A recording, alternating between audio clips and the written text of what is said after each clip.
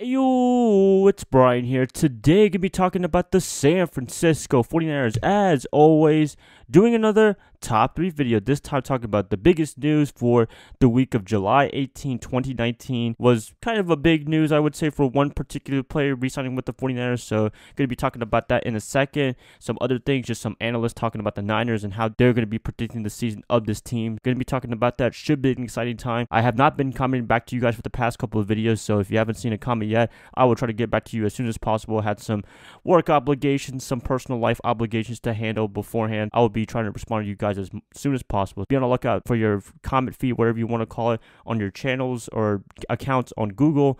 Yep, there you have it. But anyways, gonna get the video started. Before I do, please like and subscribe to support my channel. That would definitely help me out a lot. Click that bell notification to get notified of future videos. Share this channel, share this video with fellow Niner faithfuls. Let's just get this video started.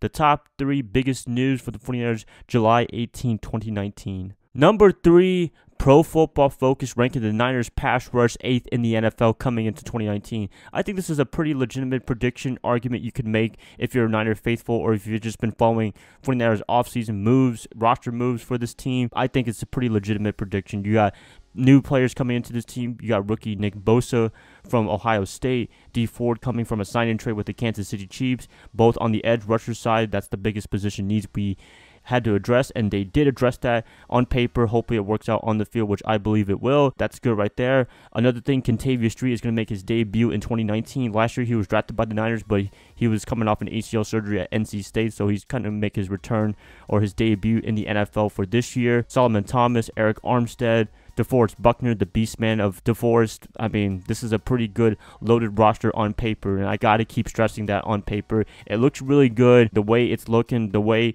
that these talented people can go together on the edge rusher slash defensive line. What can go wrong, really, except injuries, to be honest with you. So, yeah. Another thing is Buckner. He won't be double teamed as much. He has a lot of help now. Next to him, you got either maybe Arik Armstead or Solomon Thomas on the defensive tackle side. On the right side, you got Dee Ford, who they can line him up anywhere, anyway, whatever you want to call it. He won't be getting all the double teams. He won't be feeling all the pressure just by himself. He'll have a lot of help around him within the line. So I think he's going to have a big monster season coming in to 2019. He's been having monster seasons for the past couple of years, but I think with 2019, all the talent that they have, everything working out, better supporting cast, it's going to be even better for him. Defensive line, I'm excited to see what they can do. I think they could be top five, to be honest with you, the way it's looking at. But Pro Football Focus, they made a legitimate argument for eighth. Can't complain at all. Number two, Peter King endorsing the 2019 49ers. As you all know, King, he is a very respected football journalist and football mind as a reporter, whatever you want to call him. He's pretty much saying everything I've been saying about this 2019 49ers. The thing I've been stressing about is on Garoppolo. Had he played in 2018, we would have had a much better record than 4 and 12. And King is pretty much saying that in his little piece right here.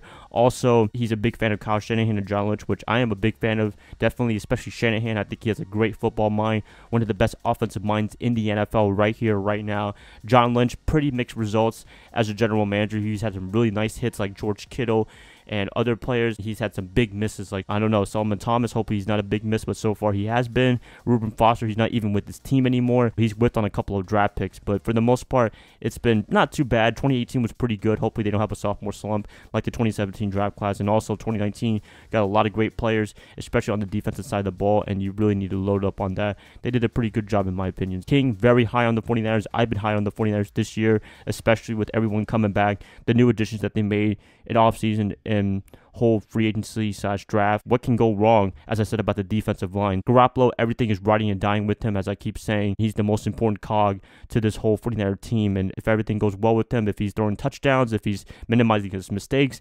everything's going to be great. If not, if he's going to mess everything up and have bad games like he did for the first couple of games in 2018, then it's not going to be a great season. I think Garoppolo, he's going to do fantastic for this campaign. Lynch and Shanahan, they did their due diligence to give him everything that he needs and wants for this roster to have a great offense and the defense as well. The biggest news for the 49ers of July 18, 2019 is Robbie Gould finally signing a deal to the 49ers. It took a while. We were all worried about this whole situation. We thought he was going to get traded to the Chicago Bears back home or he just wasn't going to play at all for 2019. But now, this past couple of days ago, he finally signed a deal with the 49ers. It's about a four-year, $19 million deal with $15 million guaranteed First two years, it's all guaranteed, and then after that, they have options and what have you. The typical Paraag and John Lynch contract deals that they do with these players. Give them half a year or a year or two, and then the other half they can decide if they still want them or not, if they're good and bad. We'll see what happens. But Gould, very important piece to this whole 49er team. We need a reliable kicker, and a lot of people were pretty upset about Gould wanting to hold out and what have you, but everything is all good. The air is clear now. We have a reliable kicker. We don't want a situation like the Bears last year with Cody Parkey, or we don't want a Blair Walsh situation with the Minnesota Vikings a couple years ago. We really need a reliable kicker to score mostly extra points and some field goals. Hopefully, he's not scoring all the field goals this year because I prefer touchdowns than field goals. But if we need a field goal, I can pretty much bank on Gould making it. That's very good. This whole team is pretty much ready for the most part. Everyone is signed for the most part. I think the only people that need to be signed this whole season right now is Nick Bosa and Deebo Samuel. They still haven't. I'll probably talk about that tomorrow about training camp and what have you. Be on the lookout for that. But yeah, Gould very important. I'm pretty sure all you guys were happy. I saw some of the comments. I didn't get to respond to you guys yet, but you guys are happy that he got his contract to stay with the 49ers for the next couple of years. I'm excited. I'm pretty sure you guys are as well. Everything is all good. What else can I say? That's pretty much it. You guys wanted to talk about these quick news real quick. Hopefully, it's going to be ramping up very, very soon with training camp coming up next week. Preseason's coming up in the next couple of weeks as well. And then after that, regular season. It's coming really fast. Hope you guys are supporting my channel. That would definitely help me out a lot. I'm going to end the video right here.